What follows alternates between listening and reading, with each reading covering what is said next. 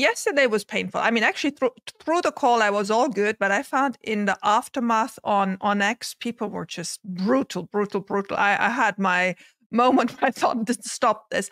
Good night's sleep this morning, woke up and said, that's it. I have cash that I was waiting to invest. So I threw the first 30,000 at it now. Uh, there's more to come. So I'm waiting for another 30 and another 20 after that. So waiting for all that, but really comfortable with what I bought today. So let me resume what I got got out of yesterday. There was lots of goods. The biggest good was actually how they were able to manage costs of goods sold. That for me is is just astonishing. And people, some people read into it that you know that was the last cost of goods sold. Well yes for the current way of producing but we're also going into a complete new manufacturing revolution that will have even further um, price cuts in in cost of goods sold. So that that was great. Auto gross margin stabilized is even slightly up. Operating margin stabilized slightly up free cash flow. I didn't expect that much of a free cash flow. We did more than 43% of the free cash flow just in Q4 of whole of 2023. So we're ending the year with close to 100 billion of sales, 96 billion.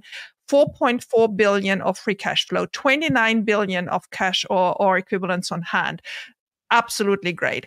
Still stable research and development, but what they did guide is that the capex is going up now to 10 billion, which is much more than I had anticipated, which and, and they said it will be 10 billion plus, mostly for AI and research and development. So Larry and I had this discussion before. I still hope they would do a capital raise. They're saying they have enough to all do that with their own financing. Well, be it. I, I just want them to throw as much in that field as possible but stay efficient, right? And we know how how lean and mean they are. So all liked all that, liked the V12 rollout, um, liked what Elon said that now AI is for the first time not only path finding and vehicle control, but actually object perception. So that's a major step, and it's a major step for bots as well. Um, he reiterated a couple of times Tesla is the most efficient company for AI inference. I mean, for the non English speaker like me, it's important to understand what inference means. It's using observation and background to get to the logical conclusion. And that is just so rare. And there are not many players in that field. And certainly Tesla is one of the top uh, players. Then what else did I find good? Well, uh, everything talking about the new line, how they're improving manufacturing manufacturing technology and how that is going to be the most important competitive uh, characteristic of Tesla. The next generation vehicle confirmed for second half of 2025. Now let's just hope that timing is that, uh, with starting in Texas, waiting for the Texas line to be laid out before finishing Mexico, which fair enough. I would have wished it would go a bit quicker, but they're prudent there. And then a third outside of North America plan doing it announced end of 2024. We know that both Berlin and Shanghai are waiting for those, so we'll see which one gets it. Uh, he also talked about bot deliveries to clients in 2025, like that. Um, he clarified why he need those 25%. I'm sure we're getting to that in a second because I want to talk about those proxy advisory firms and the bastards they are. Sorry about my English. Um, then uh, 4680 production line. Drew explained that they're actually for the first time ahead of the ramp with finished cell inventory um, now in cost reduction and production ramp phase. So we have moved on. Uh, one is an assembly line, one is a production line, one is an assembly line, two test lines, and four more added in Q3 of this year. They broke ground in Nevada. They confirmed 250,000 Cybertrucks as delivery goals in North America. Now let's get to the not so good. I found Vaibhav Taneja, the CFO. Oh, I'm prepared. I worked on, on this whole thing all night because I wanted to co- uh, confirm to myself that I needed I needed to invest this money, and am I ready? And I am so ready. Um, so Vaibhav Taneja sort of missed the goal with me. What he said when I see it in writing is good. I mean, on the advertising budget, I found him a bit flip floppy, uh, but he's not the best communicator. And I mean, I love Elon. I digest Elon stuff a couple of times before I'm really there. I just wish we would have a good CFO communicator. So I'm not sure whether he will step up or whether we need another person there. A little bit uneasy there. Just want to say what I feel. Um, Another thing I really feel a bit manipulative and, and I, that always gets my alert bells ringing is suddenly we're not talking about Tesla being bigger than Apple and uh, Aramco combined, but now we're at the most valuable company in the world. Now I know where this is coming from. Elon and the board are obviously putting in place this comp plan and putting in milestones. I just felt that was a little bit what happened to that old goal of Apple and Aramco combined and then him saying for the first time he sees that path to the most valuable company well i can find you 10 quotes in past earning calls where he saw the path already. So this wasn't the first. I don't understand why this suddenly was sort of manipulated. Is the only word i've had. Um, with the and i'm sure larry can explain that better to us with that recognition of that old tax write up whatever it was the whole tax rates now go up it is what it is. Um, the whole digital ad campaign investment in 2023, I found that was still a little bit weak. Weak is probably the best word I find. Um, I, I talked about the Mexico plan being slow. And now there are a couple of, so that was the not so good. And then a couple of bads. The bads were only four, but they are, they are what they are the FSD take rate is obviously not improving. And I, I mean, obviously that is linked to V12 not being where it is yet. And I hope with the rollout in the next couple of weeks, we'll get there. But I think they have to seriously rethink pricing on, on FSD. We've had this discussion before. I really wish it comes down, or at least a couple of months free for people to to test it, whatever. Don't, didn't like it. Uh, a real hiccup for me was that there's no FSD licensing deal anymore on the horizon, and that it only came out because one of the analysts really triggered the question until Elon had to say it. Remember, two earning calls ago, ago, it was like, oh, we're in early talks with an OEM. We got all excited. And if that question wasn't posed, we wouldn't even know that there's nothing on the horizon anymore. So I just didn't like that.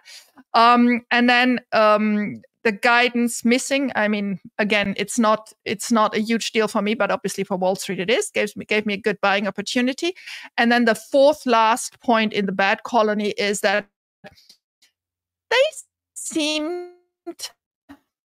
like little boys surprised that competitors are stealing their information from battery day and ai day. I mean come on get real. This is the most competitive industry we're in and you're now just waking up seeing that competitors are stealing from your presentations. I mean, where are we? So that was it. I mean, the, the good by far outweighed the bad. And and you know, when I wrote it down this morning, I just said, stop worrying, stop being annoyed. Um, and and all the points I brought up in the not so good and bad column are stuff that can be improved. Just have to be realistic about it. Thank you for. You want to announce the folks um, yeah. Do you want to announce to folks what you ended up doing with the stock this morning? Oh, I did. So I bought thousand dollars at one hundred and eighty-two something, and like I said, I have a second tranche of thirty thousand waiting, and a third one of twenty thousand that's coming in a couple of weeks. So I'm uh, timed it correctly today. Yeah, I, yeah. Well, it went a little bit lower, but I, I I was good. I was I'm not bad. I'm I'm I'm very happy about that purchase. It you know you know once I'm through with thinking it through, I'm I'm a bit of you know, I've tried to be not too spontaneous. And so once I was through, I was like, let's go for it. So, so I, I have to ask you, Alexandra. I mean, okay, so you, you, did a fantastic job. I mean, I've never heard this uh, great summary of all the pros and cons. Mine was like a list of five and a list of four. Yours was like really complete.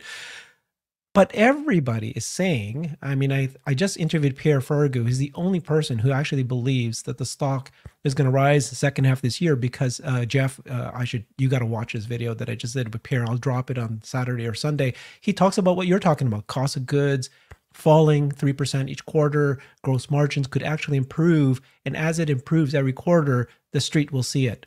Now, but, but, uh, Alexandra, I mean, you bought today when everybody's saying that it's going to be flat for at least 2024. I just finished a show with Larry. Larry's saying 2024 flat could fall even further. Tell me why you thought today was good. Of course, you should buy when it's down, but exactly down I mean, for a whole year. I mean, down for a whole year. Yeah. Um, I mean, I bought over the last four years regularly. I had the biggest chunk in immediately when I went in in March 2020. That's still good. I'm still happy about that investment.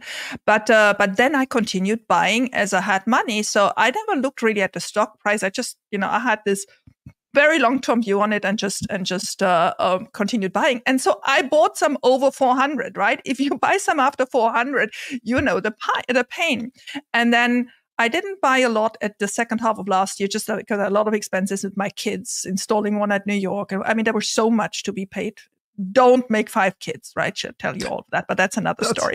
That's your mistake right there. That's exactly. your that's your decision. But but now beginning of this year, I was ready again. I, ha- I had money and I've been waiting and you know we've been talking in the DM chat for a while. It was a good moment to go in and whatever. And I just felt, you know, I, I was actually ready to buy a 260 a couple of weeks ago.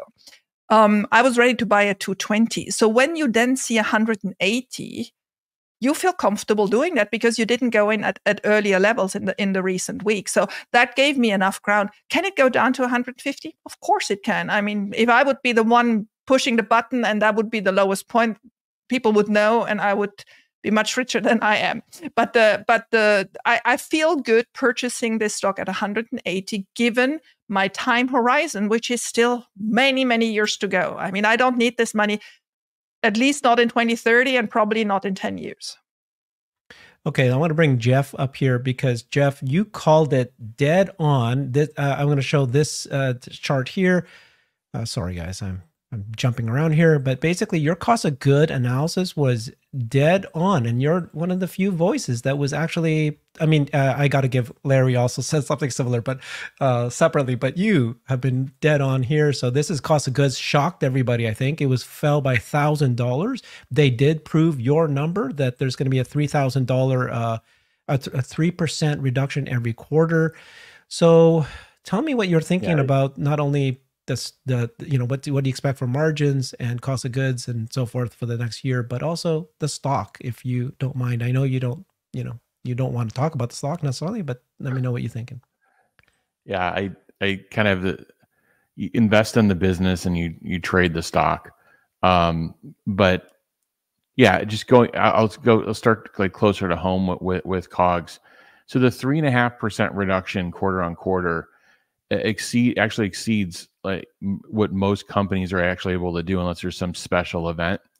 Uh, but if you look at it over four quarters, which is what you're really supposed to do over eight quarters, you know they have a pretty consistent track record of of driving eight. That they have some eight to ten percent troughs that they've driven over an annualized time frame.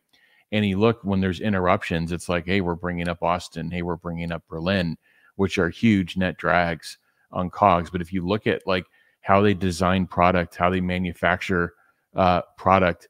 Um, th- uh, this is best in class performance. I just want to let people know, like this is is is as good as it gets. I, I'm normally accustomed, like in the auto industry, something in the one and a you know one to two percent range, and you know they delivered three and a half this quarter.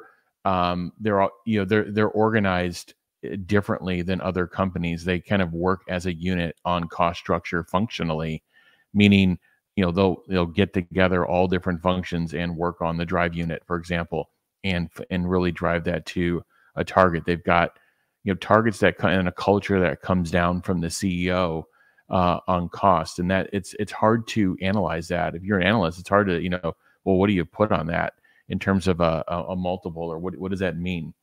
And uh, so anyway, getting back to the cog story, uh, the the prediction I had is that a they would surprise, uh, and b uh, that they would start to exceed um, the pricing reductions when you look at the pricing reductions in aggregate. So like the pricing reduction that just happened in January, everybody looks at the gross numbers and sees six percent in in Europe, but when you divide that, you, when you realize that that's ten or eleven percent of their shipping volume in the quarter and you realize it's okay it's 0.66% of msrp and you just saw them print 3.5% on cog. So this is what i mean when i keep bringing up these examples.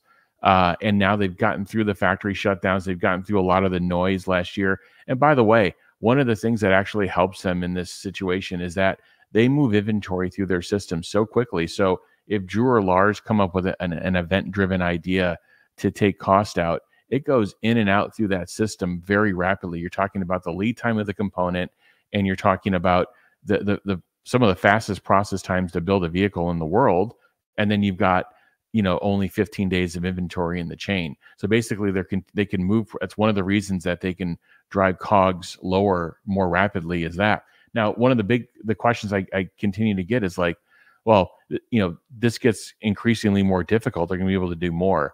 Yes, it gets more difficult. Yes, they're going to be able to do more. They are not at terminal cogs, you know, on a 36,300, you know, kind of gross aggregate. You know, maybe there's certain trims where they're going to be more difficult than others, but there's still plenty of room for them to go uh, on cogs from here. And really, to me, all the way into the next generation. I think this is what's what's important. There's not going to be some quarter where like unless there's some big issue with volumes or there's some big event, you know, they should be able to continue to drive cogs down pretty continuously until they get to the next generation vehicle. Again, it's going to get increasingly difficult, but I do believe they're going to do that. What I can't predict is what are they going to do on the pricing side is by by the fact that they didn't guide on that call on either the volume vector or the gross margin vector and it does that and, and the fact that they've reduced their price reduction campaign. This is what really irks me when analysts just say price cuts price cuts price cuts. Actually do the analysis and understand like what is the gross impact of that in the quarter uh, and then and then and do the cogs next to it. Uh, it looks like they've really reduced the rate uh, they had price corrections in the first half of last year and now we're mm-hmm. just doing very very small changes. So the question is is is that you know what they're going to continue to do and and and some of the verbiage I, I would have thought could have been appropriate on the call. Again i'm not in tesla management. I'm not saying i can do their job any better but one of the comments i mean if it's true you know what is one of the comments like look we're going to continue to drive pricing lower to get our product out to more people. However we're going to do this in commensurate with our cogs reduction program. We're the best in the world at doing this and and, and we're going to continue driving that as a priority. I would have loved to hear them say that. Um, I loved Alexandra. That just I, we can talk more about cogs in a minute, but it's gonna it's gonna continue going. It's not going to be at a perfect three and a half. Don't graph three and a half percent for the next you know seven quarters until they're building the 2020. That's not how it's going to work. There's going to be ups and there's going to be downs. The big the, there's really big opportunities with 4680. There's really big opportunities with underutilization uh, in some of the gigafactories, and there's huge, huge opportunity in forward leveraging the the next programs and getting the getting the current suppliers to do a little bit of a stretch with them until they get to the next set of programs. It's only next year.